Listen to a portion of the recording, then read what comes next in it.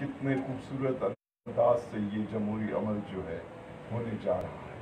तो हम कोशिश करेंगे कि ये एक बहुत शफाफ अंदाज में हो, इसमें कोई लेन देन और खरीदो फरोख्त ना हो, इसमें एक दूसरे के ऊपर ज़्यादा गाली गलोच न हो, और हर चीज़ जो है एक बहुत आइनी और इखलाकी जो कदरे हैं उनको सामने रखकर दूसरी चीज़, जहाँ तक मीशत का ताल्लुक है तो जब इमरान खान की हुकूमत आई तो एक ज़बरदस्त इकतसादी बहरान और पाकिस्तान के अंदर जो कर्ज़ों की तादाद थी, तारीखी सतह पर थी। और पाकिस्तान में पिछले जो पाँच साल गुजरे थे, उसमें एक्सपोर्ट्स के बढ़ने की रफ्तार सिफर से भी कम और पाकिस्तान के अंदर जो फ़िज़िकल डेफिसिट और ये तमाम चीज़ें थी, वो ऐसी जगह पहुँच चुकी थी कि इमरान खान को आईएमएफ के पास जाना पड़ा आपको पता है, कोई भी हुकूमत आईएमएफ के पास खुशी से नहीं जाती। ये इस चीज़ का आपको एक तरह से प्रूफ है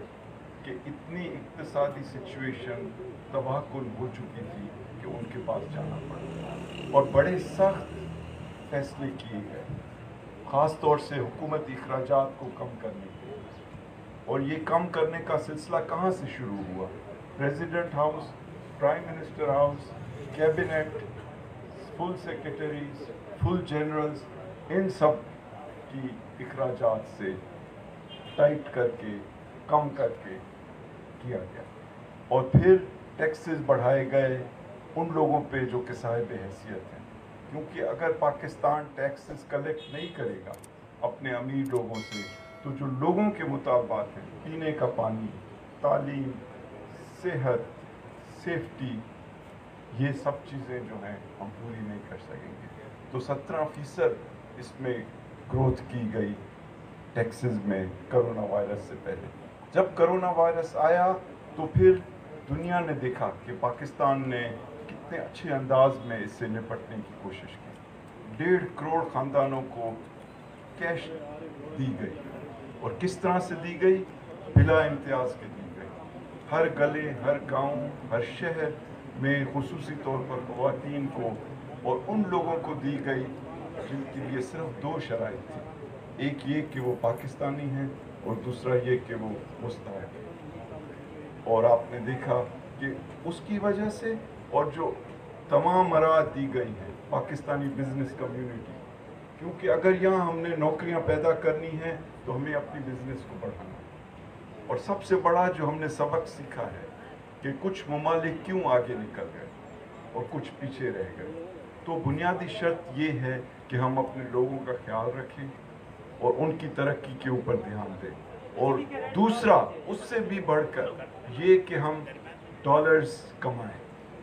क्योंकि ये मुमकिन नहीं है कि अगर आपके पास डॉलर्स ही नहीं तो आप अपने लोगों की ज़रूरियात पूरी कर सकेंगे या बाहर से चीज़ें खरीद सकेंगे। तो इस हुकूमत ने जो मराद दी हैं, किन को दी हैं? उन लोगों को दी हैं जो कि डॉलर्स जो हैं कमा सकते हैं, यानी एक्सपोर्टर्स और इस वक्त जबकि दुनिया में एक इकतसादी डाउनवर्ड ट्रेंड है, और हमारे हमसाय ममालिक, बांग्लादेश, इंडिया वगैरह एक्सपोर्ट्स नहीं कर पा रहे हैं, पाकिस्तान की एक्सपोर्ट्स आप देख रहे हैं कि बढ़ रही हैं। जब ये हुकूमत आई थी तो रिजर्व्स फॉरेन एक्सचेंज के तकरीबन खाली हो चुके थे। और बहुत मेहनत से उनको बढ़ाया जा रहा है। बहुत कोशिश की जा रही है कि रेमिटेंसेस जो हैं, वो फॉर्मल यानी जायज़ तरीक़ों से आए ताकि वो भी हमारे फॉरेन एक्सचेंज के रिज़र्व में इजाफा करें। तो इन ताला हमें चैलेंजेस हैं। लेकिन एक बात जो इस हुकूमत और इसके प्राइम मिनिस्टर को मुनफरद बनाती है, कि इनका महवर पाकिस्तान के लोग हैं।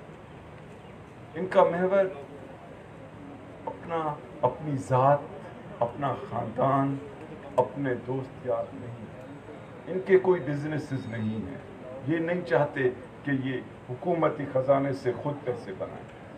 इनका महवर एक है कि किस तरह पाकिस्तान के लोगों की जो उमंगें हैं, वो पूरी की जाएँ और पाकिस्तान का मकाम जो है दुनिया में बढ़ाया जाए।